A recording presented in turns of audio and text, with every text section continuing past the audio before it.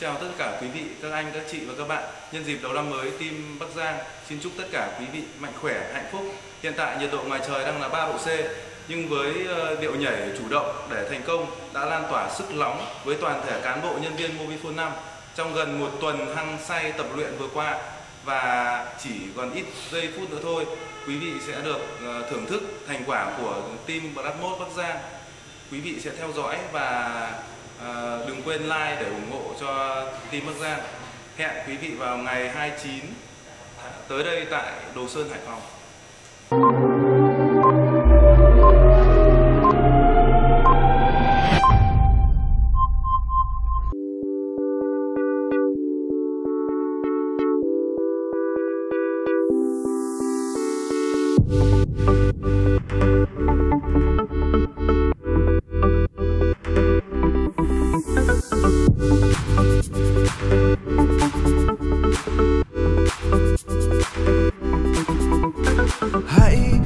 Lại đây với tôi. Hát vang câu ca này, và ta sẽ cùng quên hết mọi lo lắng và hãy tự tin nhé em, hướng tới những ước mơ. Ngày mai sẽ ngập trong nắng và ta sẽ cùng đến những chân trời mới, đón những cơ hội mới. Tiến bước không ngại chi, cùng nhìn về tương lai. Mở cửa để đón ánh nắng mai bình minh tươi sáng đón ta phía cuối đường. Và ta cứ bước bước đi không âu lo. Tự tin vươn tới ước mơ ngày chi trong gánh chưa khó khăn nào rồi cũng sẽ vượt qua khi ta đã sẵn sàng.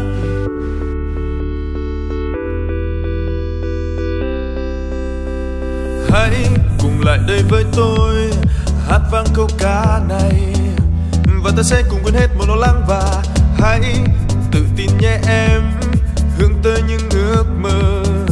Ngày mai sẽ ngập trong nắng và ta sẽ cùng đến những chân trời mới, đón những cơ hội mới. Tiến bước không ngại chi, cùng nhìn về tương lai. Mở cửa để đón ánh nắng mai.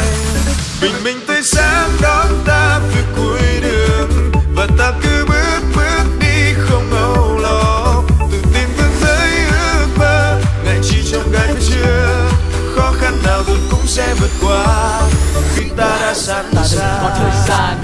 khiến cho mắt ta nhăn nhó. Không biết mai ra sao là lòng ta nôn nào? Ờ chơi vơi cùng với những cồn cao ta hãy ví thật phải là đòn bẩy để khi cơ hội đến đây ta đón lấy. Say môi phone là món quà thật nhất dành cho những đôi chân vững hơn lớp đất. Nhau ngày mưa dù sáng hay trưa khó khăn của ngày xưa ta vẫn đi để bước tiếp. Say môi phone đừng có đắng hay chua hay cái công hiến đi để nhìn lại ta không biết. Môi phone sẽ lấp đời ta nếu ta không tin cuối đường là ánh sáng. Và khi ta chủ động cất đi màn đêm thì thành công tươi sẽ luôn song hành cùng với là ánh nắng chủ động để thành công